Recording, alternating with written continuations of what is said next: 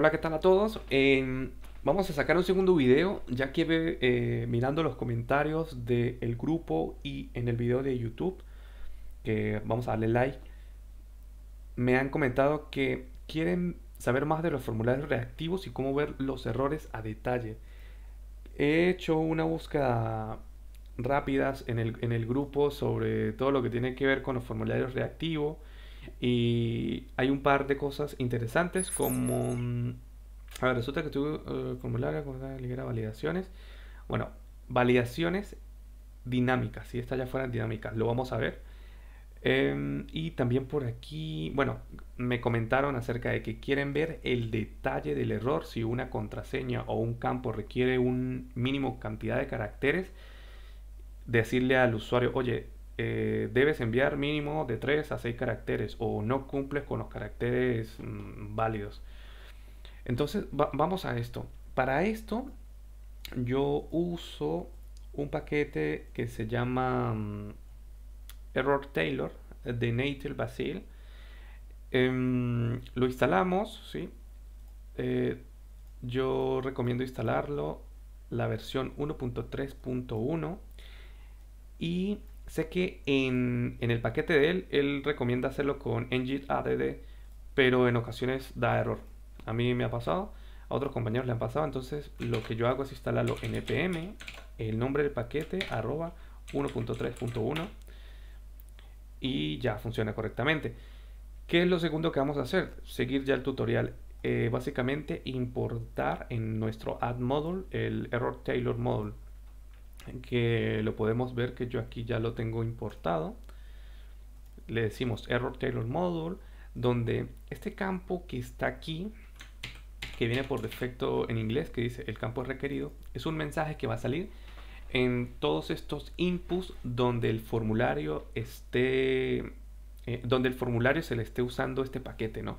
Porque ahorita vamos a ver que en, la etiqueta de formulario nosotros le decimos quiero que los errores de los inputs lo maneje con este paquete y aquellos campos que nosotros no vamos a definir un error mm, detallado él por defecto va a pintar este error si no se cumple si la validación no se pasa correctamente. Así que mm, vamos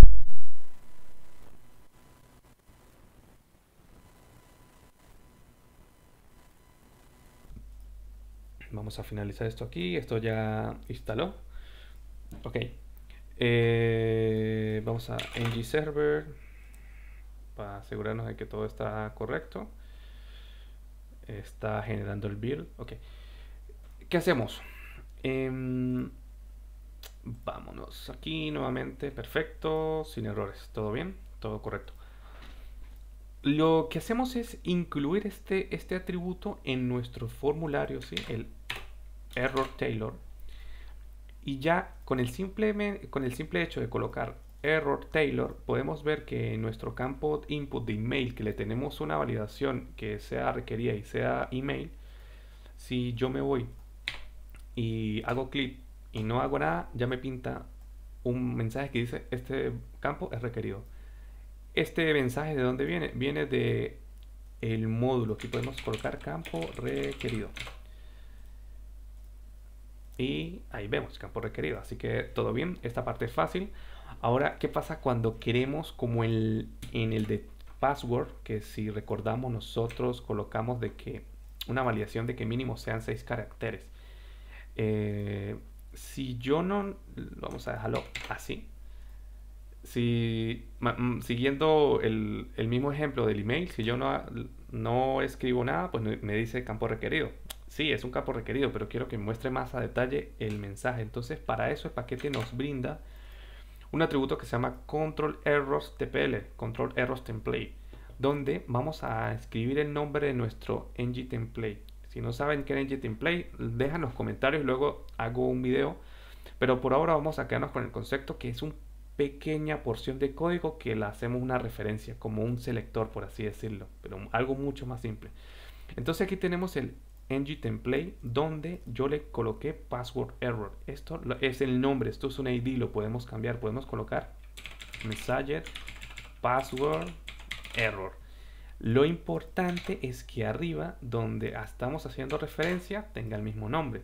Entonces, esto es el mensaje, el mensaje de error de la contraseña, muéstramelo en este template. Y este template tiene ya dos atributos, error y text. Estas dos cosas que son, mm, vamos a pintarlas aquí un poco más en crudo para ver qué tiene. El error, el error nos muestra un objeto a detalle de qué está fallando.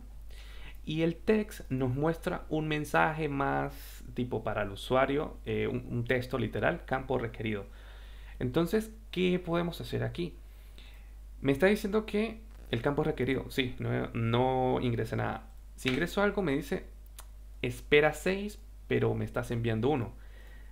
Ese es el texto por defecto del error. Pero si nosotros queremos personalizar más ese error, también nos muestra entonces un objeto a detalle de qué está pasando ahí es donde nosotros podemos hacer pues creativos y le podemos decir, oye, si en error conseguimos minlen, entonces le, le, decimos, oye, no cumples con los caracteres mínimos, ¿sí? Entonces, si hacemos esto, ah, pues aquí ya tenemos eh, el mensaje que le estoy enviando. Pero si vemos un poco más a detalle, vemos que arriba nos pasa también otro, otro parámetro, ¿no? Como actual, caracteres actuales, 1. Entonces, mm, yo quiero ser más específico. No cumple con los caracteres mínimos. Ingresaste solo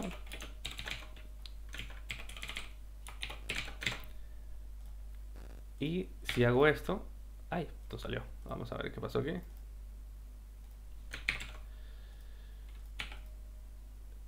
Ah, ya, faltó el minlen.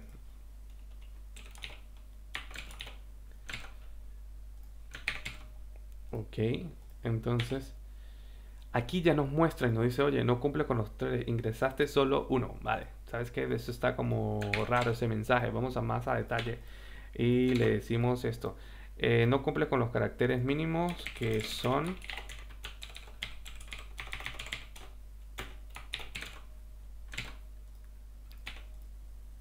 Y ahí dice, no cumple con los caracteres mínimos que son otra vez. Nos faltó esto. Nos faltó esto. Ok, vale, nuevamente. Ahora sí, no cumple con los caracteres mínimos que son 6. Ingresaste solo uno, vale. Entonces aquí ya es cuestión de imaginación y ver qué tanto mensaje podemos colocarle. Con esto creo que ya abarcamos eh, los tres temas que pienso hablar en este video, que es mostrar los errores a detalle, estilo de errores, validación con expresión regular, y hay uno muy importante que vi ahorita en la comunidad, que es el de los eh, validaciones dinámicas. Entonces, ese es importante, eh, ojo con este. Estilo de errores, este es sencillo.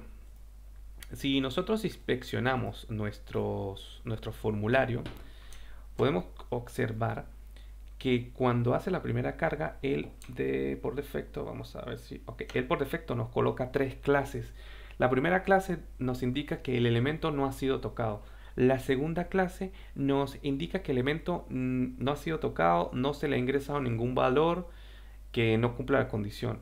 Y la, última clase nos indica que el valor que tiene es inválido. Sí, es inválido porque está en blanco y necesitamos un, email. Entonces con estas clases podemos hacer lo siguiente, podemos irnos al CSS, al SAS, a como lo manejen. Y yo le quiero decir, mira, cuando, cuando mm, existe una clase, esta es un touch, sí, pero si nos, bueno, vamos a comentar para explicar esta otra parte. Pero si nos fijamos que cuando lo tocamos cambia a touch, ¿sí? Entonces, lo que yo le puedo decir es, cuando exista la clase invalid en el mismo elemento donde exista la clase touch, pinte un borde sólido 2px color tomato. ¿Vale? ¿Qué hacemos esto? F5 está en blanco, lo tocamos, nos retiramos y nos pinta en rojo todo. Uf, ¿por qué nos pintó en rojo todo? Porque el formulario también tiene sus propias clases. Entonces para esto simplemente le vamos a decir que cuando sea un input. Y de esta forma UX está en rojo, UX está en rojo. ¿sí? Em, ¿Qué pasa cuando es válido? Pues cuando es válido es sencillo. Porque él nos coloca una clase eh, que dice valid.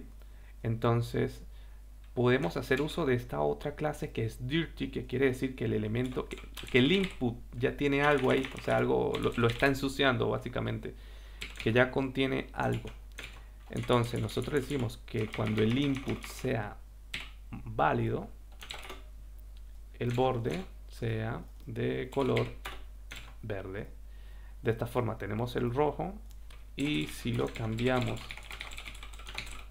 a un campo correcto, nos pinta en verde. Bueno, es un verde un poco oscuro, pero vamos a pintar otro verde. Y ahí tenemos el verde, ¿ya? La creatividad aquí eh, sin límite, ¿no? Así que vamos a seguir. Los estilos era algo, algo rápido, pero muy importante que nos puede solucionar la vida. las validaciones con expresiones regulares. Entonces imaginemos que en este formulario que tenemos, que por ahora simplemente estamos manejando dos inputs, que es un email y un password, imaginemos que, no sé, yo quiero que me ingresen eh, un link de YouTube. YouTube, ¿sí? Y vamos aquí a llamarlo YouTube. Vamos a ir al formulario y vamos a escribir aquí que el campo se va a llamar YouTube, ¿correcto? Entonces, ¿qué sucede aquí? Aquí le estamos diciendo que existe un campo nuevo, ¿no? Que se llama eh, YouTube y que este campo quiero que sea requerido, Vulture.require y que además de que sea requerido quiero que, que, que el valor que ingrese cumpla con un patrón de, perdón, con una expresión regular que sea válida del dominio YouTube. Así que aquí tenemos la expresión regular. Expresiones regulares, hay muchas herramientas, eh, Internet está lleno de expresiones regulares. Así que vamos nuevamente y escribimos aquí 333, nos pinta en rojo. ¿Qué pasó con los mensajes? Ahorita llegamos a ese punto. Nos pinta en rojo, escribimos aquí correos y demás, está en rojo. Ahora vamos a agarrar un Vamos a agarrar un link del último video y lo copiamos. Nos dice que está en verde. ¿Por qué? Porque cumple con la expresión regular. ¿Vio? Si quitamos ya el dominio, que es un dominio incorrecto de YouTube, ya nos lo marca como error. ¿Qué pasa? ¿Por qué no nos funciona lo de los mensajes? Lo de los mensajes están hechos básicamente para las validaciones que son eh, por defecto, no validaciones un poco más custom. Para este tipo de, de validaciones, lo que nosotros tenemos que hacer es agarrar em, con este pedacito de código agarramos los errores que el input YouTube contenga. El input YouTube haciendo referencia al, al, form class name, al form control name que se llama YouTube. Entonces, si nosotros pegamos esto, E nos está diciendo, oye, eh, no cumples, no cumples con el patrón. Ese es el error. Sea, los errores que estás mostrando aquí es que tienes un error de patrón. Si yo copio el link, me dice que eh, no tiene errores, que está null, null sin errores. Entonces podemos, siguiendo la sintaxis de los demás, de, los demás templates de errores, pues podemos crear un template perfectamente válido eh, que le vamos a llamar mensaje YouTube error, ¿sí? Claro, este no tiene nada de esto, así que vamos a quitarlo.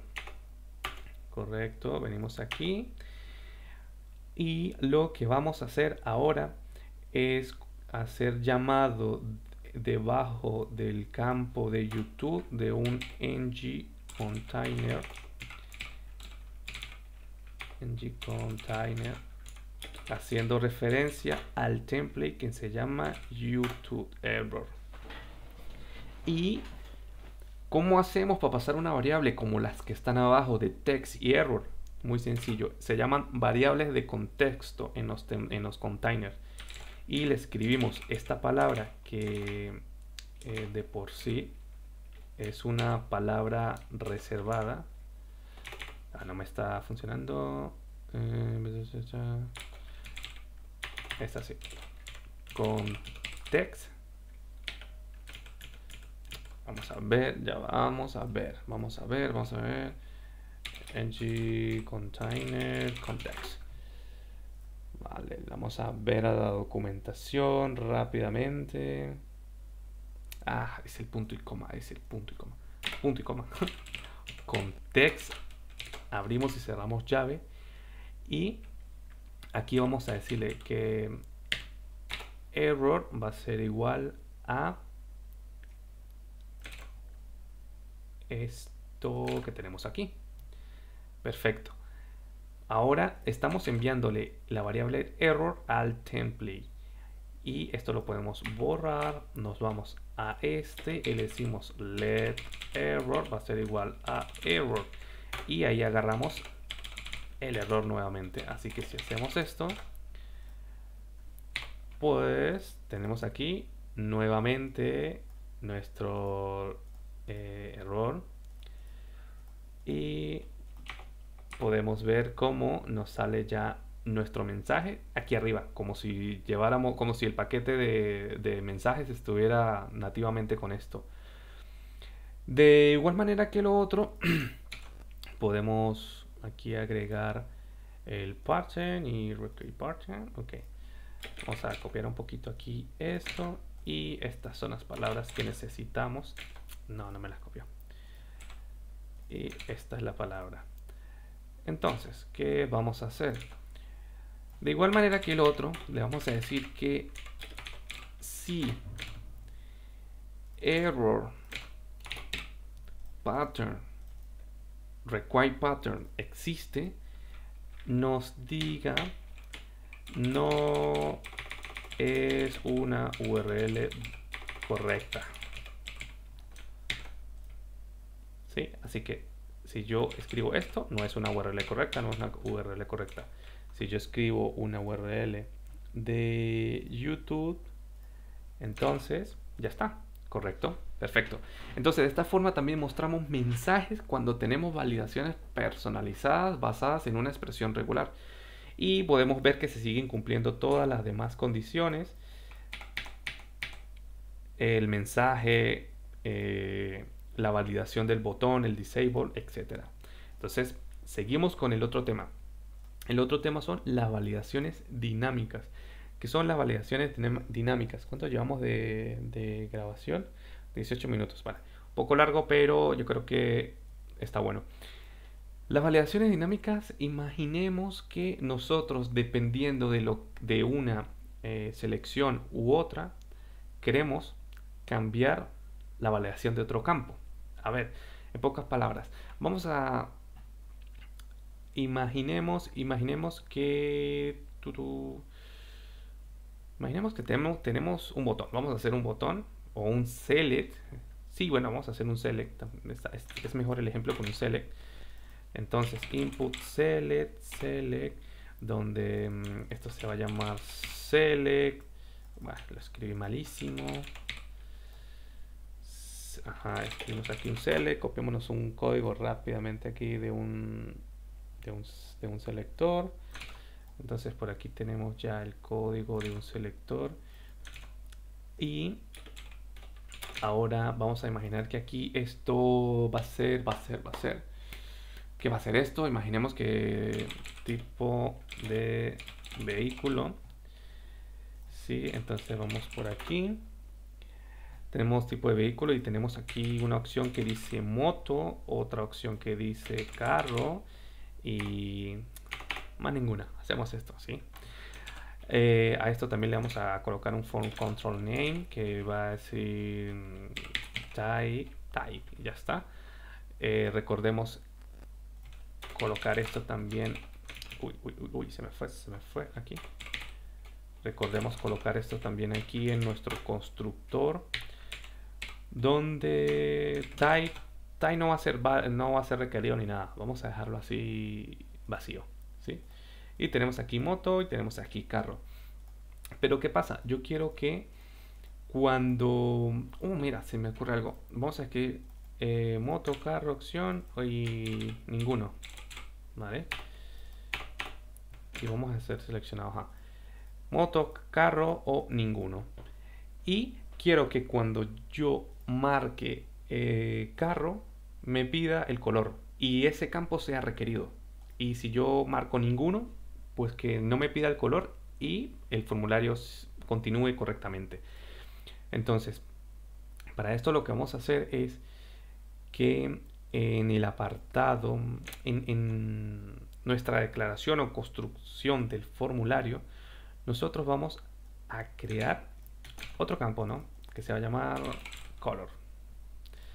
Color y este color, mm, haciendo referencia al color que vamos a pedir, pero le pueden colocar el nombre que sea, no, no va a ser requerido ni nada.